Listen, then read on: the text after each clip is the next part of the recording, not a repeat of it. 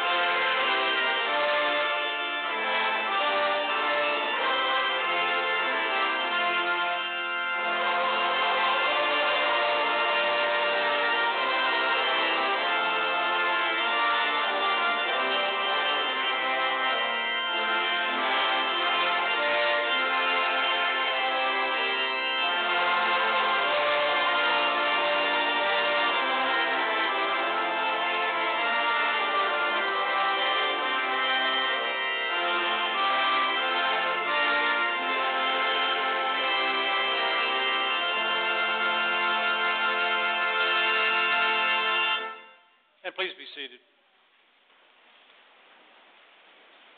During this season of Advent, we have added to our anticipation and our hope and our desire to look and see the future that God is making by the traditional celebration of lighting candles successively on the Advent wreath. And we continue with that tonight as we will finish with the Christ candle at the end of this service. Join me then in the brief litany for the lighting of the first Advent candle. The true light that enlightens us all is coming into the world. Light shines in the darkness. Darkness has not overcome.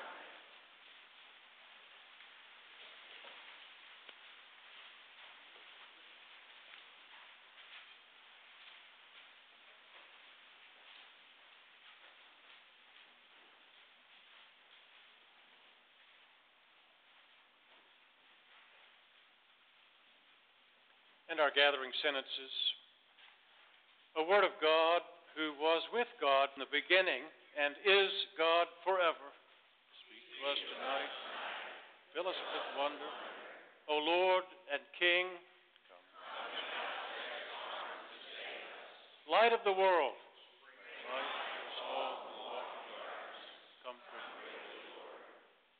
And join me now in the prayer of adoration and confession. Loving God, once you were poor and weak, lying in a manger. So now let us be moved to serve the weak and needy. Once there was no place for you in the inn. So now make us watchful for those who need our welcome. As once the shepherd saw a great sign, now let us expect wonders in our lives. Once the angels sang, so now let us rejoice. Because Christ is the answer to sin, let us turn from our disobedience and let us embrace what is good and right and true. Forgive us, and on this night of all nights, renew in us the faith that inspires celebration.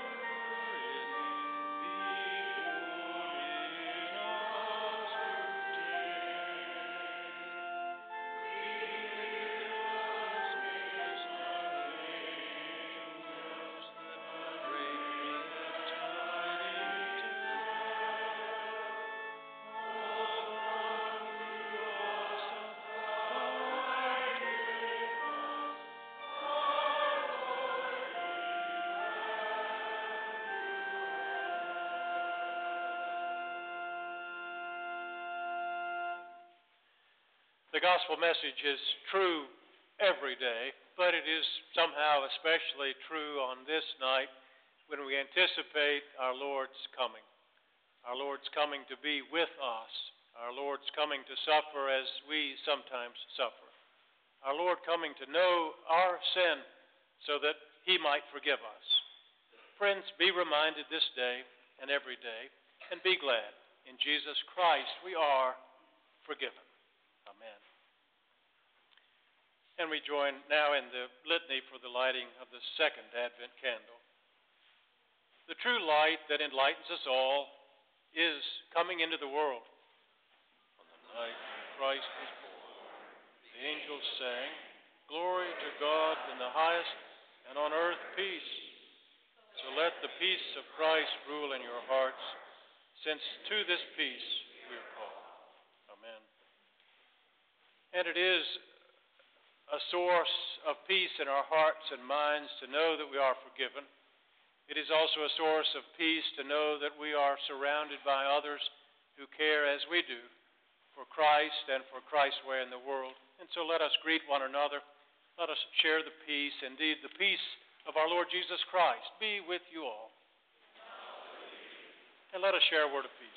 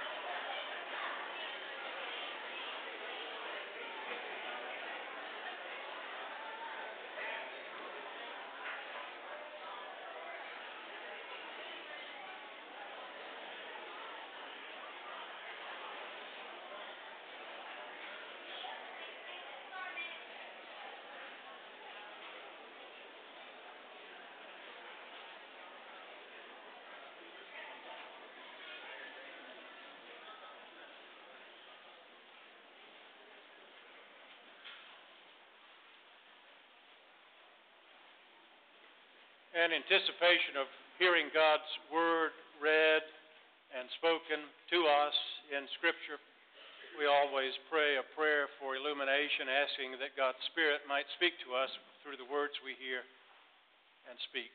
Let us all pray. Loving God, on this night, we do sense your powerful presence and the reality of it. Help us to set aside cares and concerns or uh, worries or difficulties and instead be fully, fully engaged by your presence and your power. And these things we pray in Christ our Lord. Amen. Our first scripture reading is a scriptural harmony of our longing for a Savior. It is responsive. Oh, sing to the Lord a new song. Sing to the Lord all the earth. For those living in the land of deep darkness, the light is shining. Sing to the Lord and bless his holy name. Proclaim the good news of his salvation from day to day.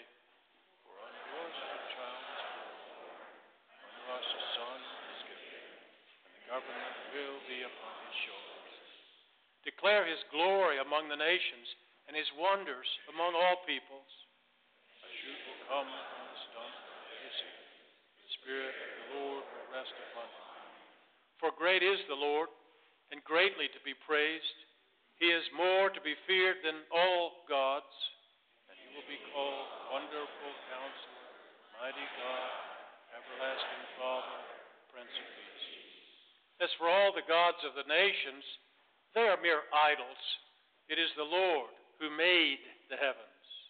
Oh, that you would rend the heavens and come down. Majesty and glory are before him, beauty and power are in his sanctuary. Render to the Lord, you families of the nations. Render to the Lord glory and might. Prepare the way Lord. Straight the wilderness a highway for our God. Render to the Lord the honor due his name. Bring offerings and come into his courts. My soul magnifies the Lord, and my spirit rejoices in God my Savior. Oh, worship the Lord in the beauty of his holiness. Let the whole earth stand in awe of him.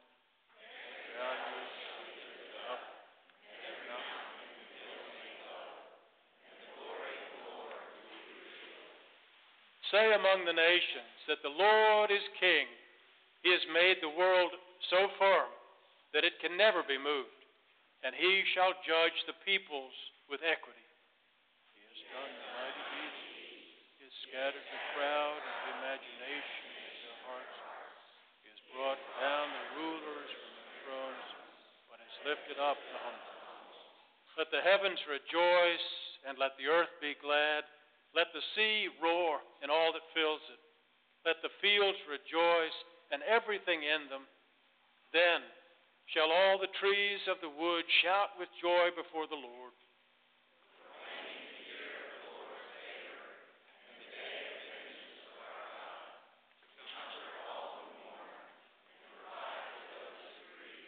For he comes. He comes to judge the earth.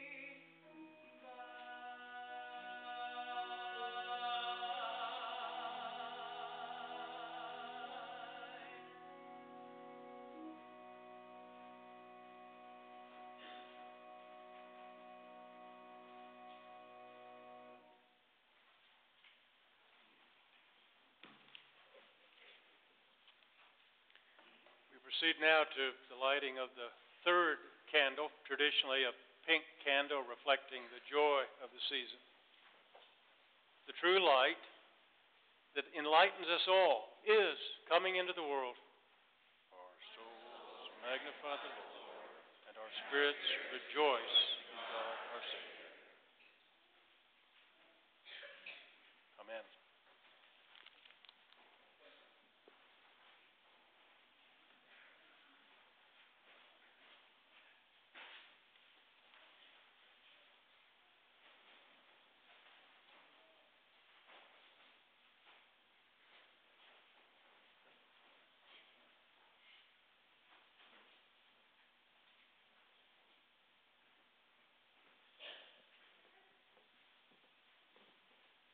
In those days, a decree went out from Emperor Augustus that all the world should be registered.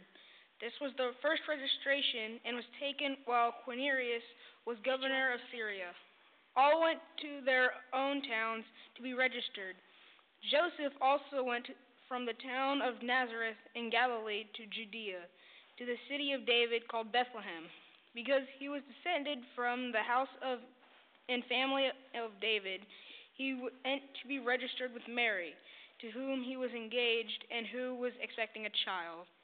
I am Mary, tied as a drum, round as the lady moon calling out to me. We're so far from home, and my baby will be born tonight. Where can I lie down?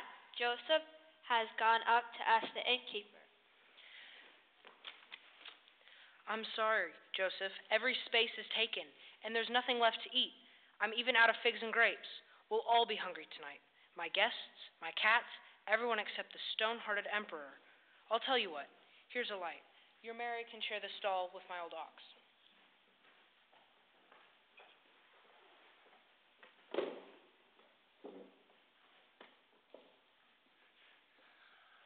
I'm the ox that I keep yawning. My master works me so hard. There's not much hay in here, Mary. You'll be better off with a silly donkey.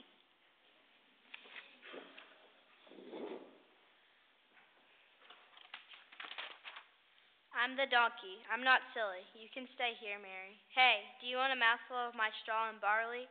At least you'll be warm in my stall, better than in the dark and the damp with all the wandering shepherds. While they were there, the time came for her to deliver her child, and she gave birth to her firstborn son, and wrapped him in bands of cloth, and laid him in a manger, because there was no place for them in the inn. I am the mother, Mary my little lamb, my perfect stranger. I'll wrap you with these swaddling bands. I'll lay you in this manger. This is my child. In that region there were shepherds living in the fields, keeping watch over their flock by night. Then an angel of the Lord stood before them, and the glory of the Lord shone around them. And they were terrified. But the angel said to them, Do not be afraid, for I am bringing you good news of great joy for all the people. To, to you is born this day in the city of David a Savior, who is the Messiah, the Lord.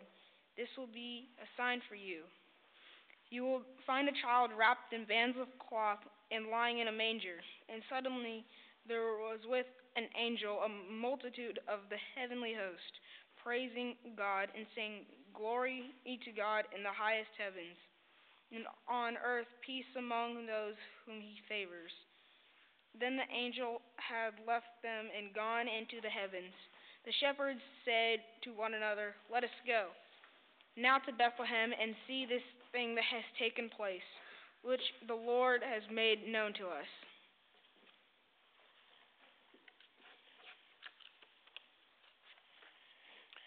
We're the shepherds. There was this light in the night sky, and the old moon herself went white. And there was a sky voice saying, Jesus, the Lamb of God, will be born tonight. You'll find him in Bethlehem, lying in a manger. Then this whole flock of light skips around us. Peace on earth, they sing. So they went with haste and found Mary and Joseph and the child lying in the manger. "where are the, se- we're the shepherds. What a journey. Little Jesus, here's a fleece a round of sheep cheese, and a palm fan. That's all we have. We're only poor shepherds. We're not rich or wise. When they saw this, they made known what had been told to them about this child. And all who heard it may, were amazed at what the shepherds told them. But Mary treasured all these words and pondered them in her heart. Shep- the shepherds returned, glorifying and praising God for all they had heard and seen, as it had been told to them. The word of the Lord.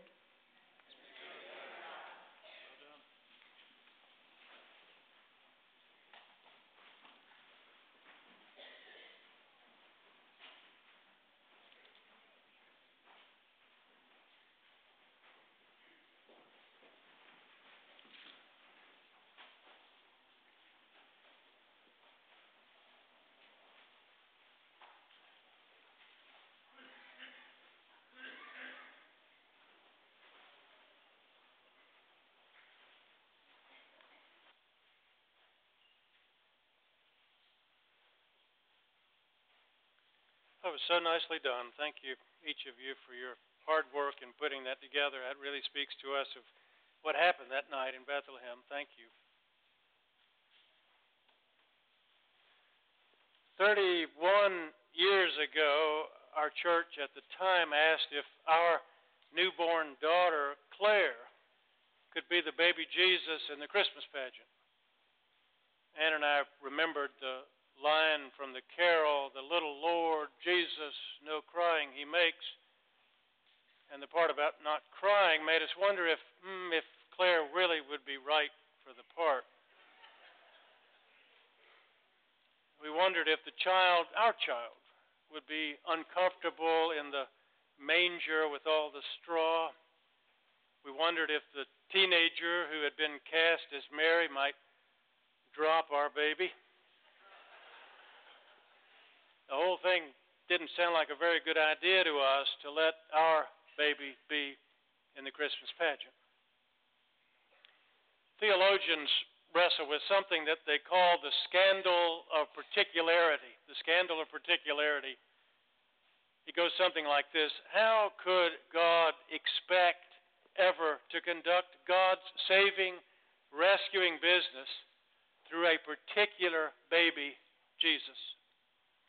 How could God possibly have determined to work the salvation of all things simply by visiting one Jewish girl who was kneeling at prayer? Or even why just one chosen people among all the peoples of the earth? Human life comes with certain threats and certain vulnerabilities, some bumps and bruises along the way. And all of that, bumps and bruises, seem decidedly unsuitable for Almighty God. So it is an amazing, even an illogical fact that we are celebrating tonight that all of humanity, so far as concerns humanity's future and our redemption, all of humanity has now narrowed down to this single divine stroke the child born to Mary and Joseph and laid in a manger. Well, you can easily, I'm sure, imagine how this would be too much for Anne and for me. We didn't even want to pretend that the hopes and fears of all the years were being somehow met in our little baby. And so we did say no to this invitation for Claire to be the baby in the Christmas pageant. But what if we had said yes? Obviously, I've thought about this over the years. Saying yes is really so critical to the Christmas story. Do you see that? Mary, of course, famously said yes to the Holy Spirit of God. Joseph, too, says yes to the angel who appears to him in a dream. And then the angel lays this whole remarkable deal out on the table for Joseph. The angel says, And you will name him Jesus, for he will save his people from their sins. What?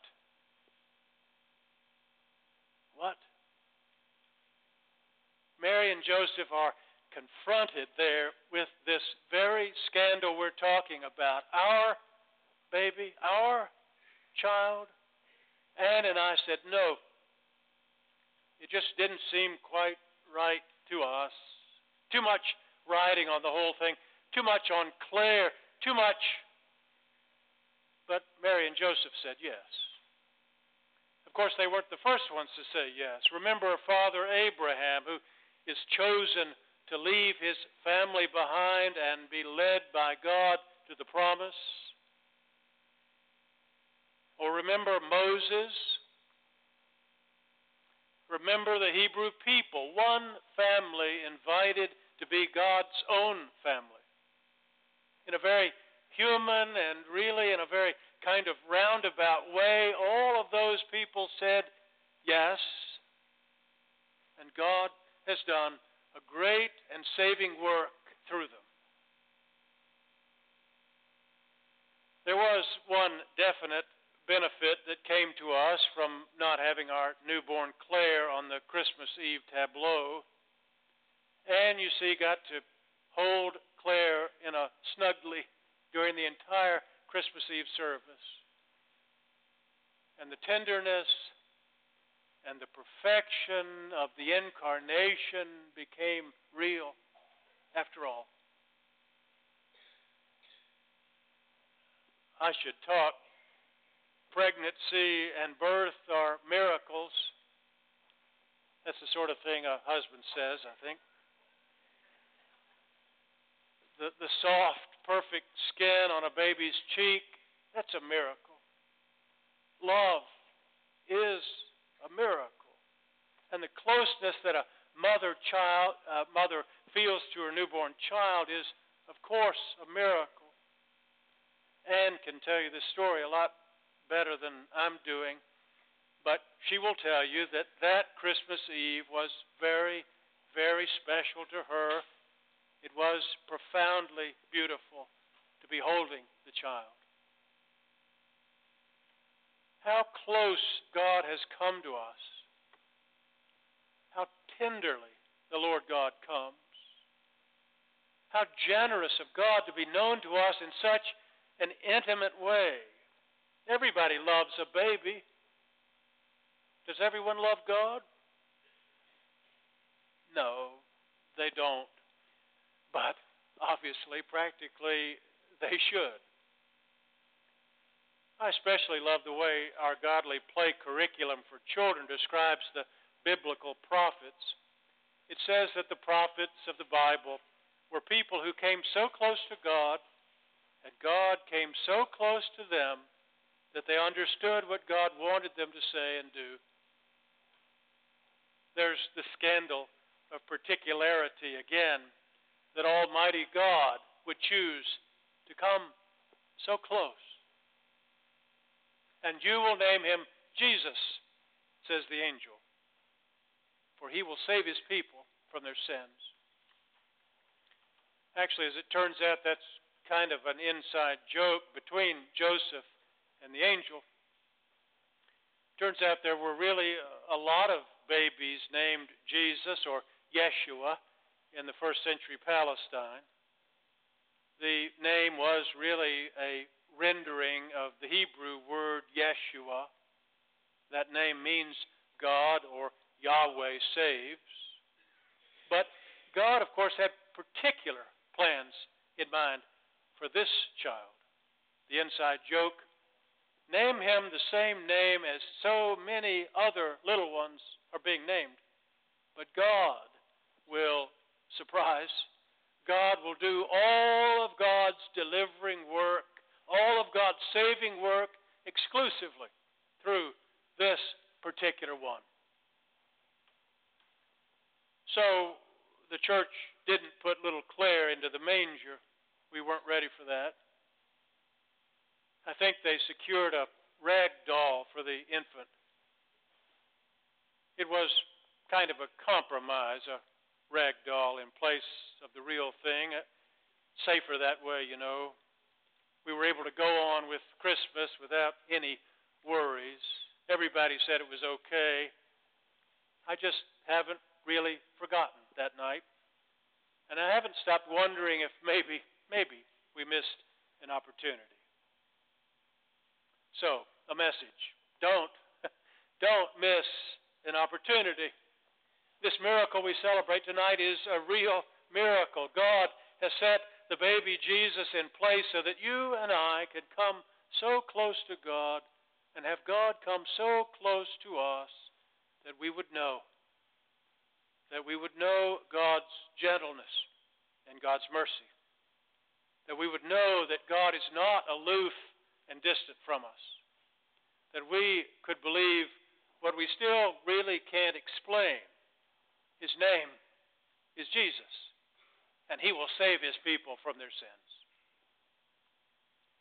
Find the miracle in your heart tonight. Find it and be amazed. God is with us. Hear and believe. That miracle really is particular, just the same way that you, each of you, is particular. The miracle is for you.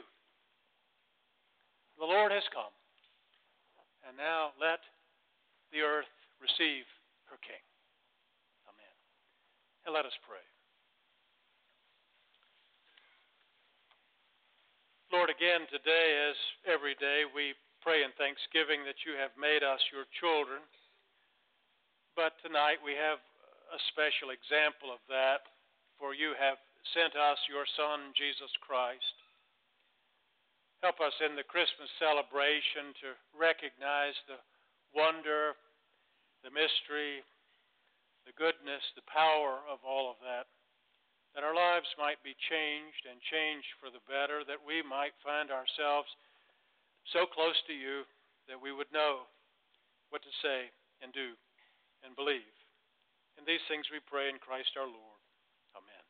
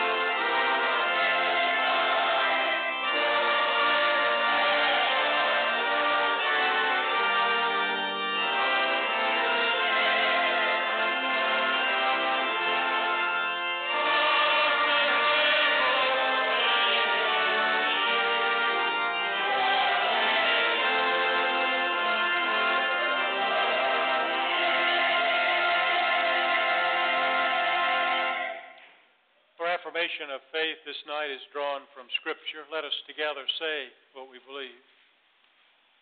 In the beginning was the Word, and the Word was with God, and the Word was God. And the Word became flesh and dwelt among us. And we have seen his glory, glory as of the Father's only Son, full of grace and truth. No one has ever seen God. It is the only Son who is close to the Father's heart, who has made him known. He is the image of the invisible God, the firstborn of all creation. For in him all the fullness of God was pleased to dwell and through him God was pleased to reconcile to himself all things, whether on earth or in heaven, by making peace through the blood of the cross. Amen. And please be seated.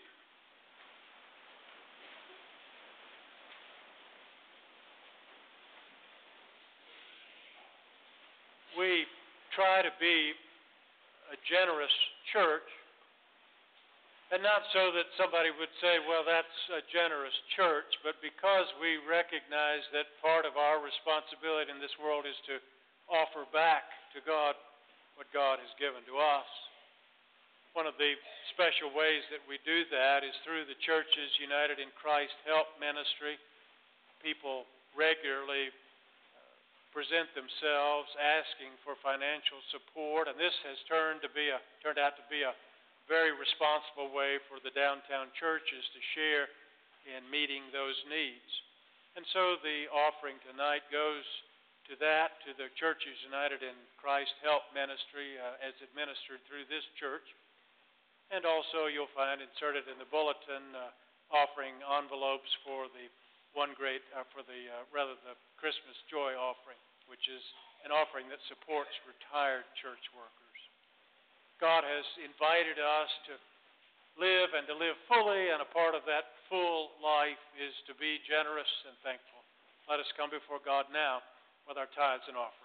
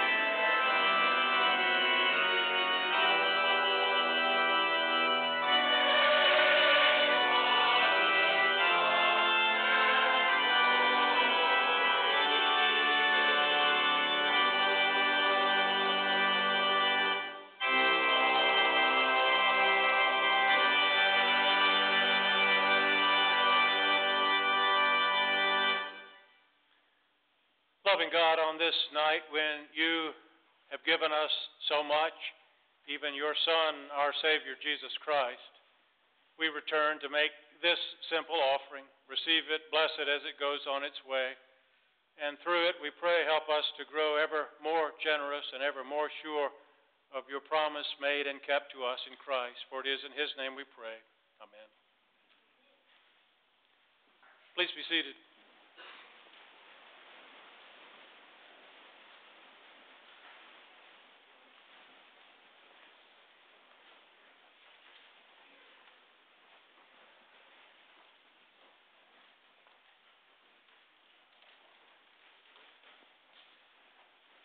The lighting of the fourth Advent candle. The true light that enlightens us all is coming into the world. All has taken place to fulfill what had been spoken by the Lord through the prophet. Behold, a young woman shall conceive and bear a child, and they shall call him Emmanuel, which means God is with us. The Word became flesh and dwelt among us. We have beheld the light of his glory, glory as of the only Son of the Father. Amen. And friends, this is the joyful feast of the people of God. Our Lord Jesus Christ invites us to come and to be joined with him around this table. On Christmas Eve, we do think about our Lord's coming to us, coming to us so tenderly as a child, coming to be close to us in a very special way, even God incarnate in the life of a human being, so that we humans might have a closer, ever closer relationship to Him and a, and a greater assurance of His love. And so it is when we gather around the table and we have that sensation of closeness to our Lord Jesus Christ that it is especially appropriate for Christmas Eve.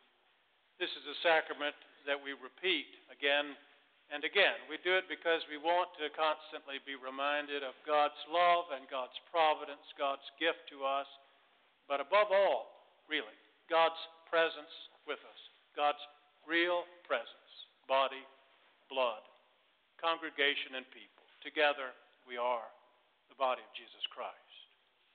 Let us all pray. Lord, we do thank you for the beauty and sanctity of this night. Thank you that you touch our hearts with the warmth of family connection and the goodness of faith and the life of faith. And thank you most of all that you come to us as a child this night, that we might be connected ever more fully to you and to your love. As we gather around this table, we do pray that this bread might be for us the body of Jesus Christ. And this wine might be for us Christ's own blood, so that as we eat and drink at our Lord's command, we might be united with Him in a common faith and purpose. And loving God, as we gather around this table, we do so aware that we are joining our voices with those in all times in all places who have called upon your name and have sung together.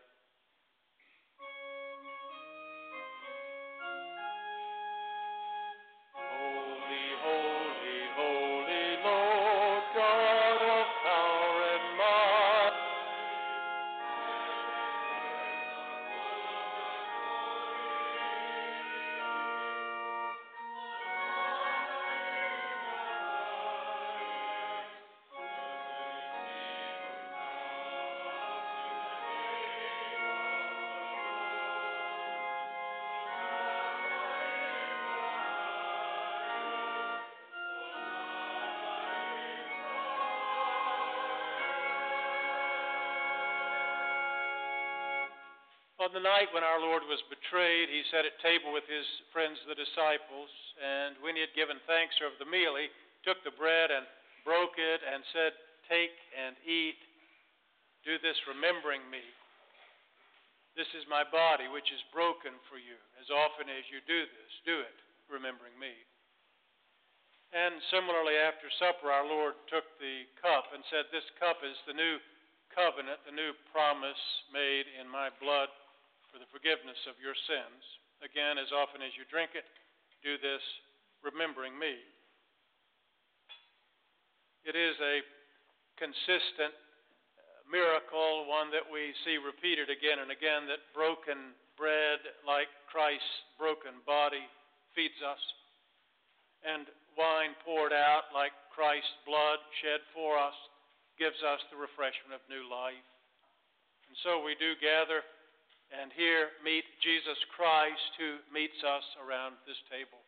These are the gifts of God, and they are for you, the people of God. Thanks be to God. Amen.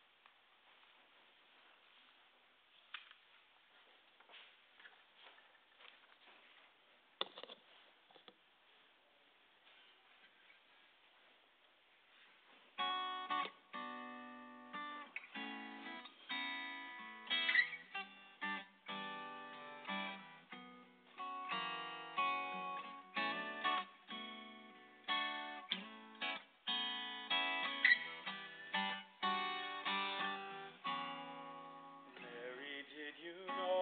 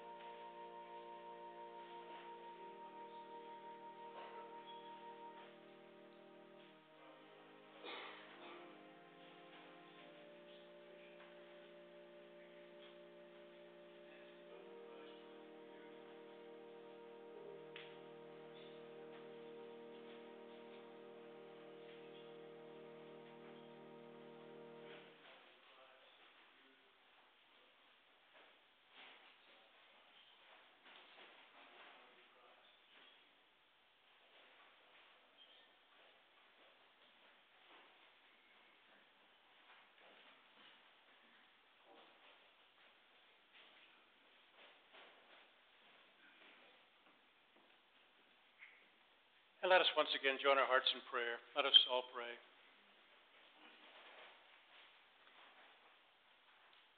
Love, we, loving God, we recognize that our very existence depends on you and on your mercy.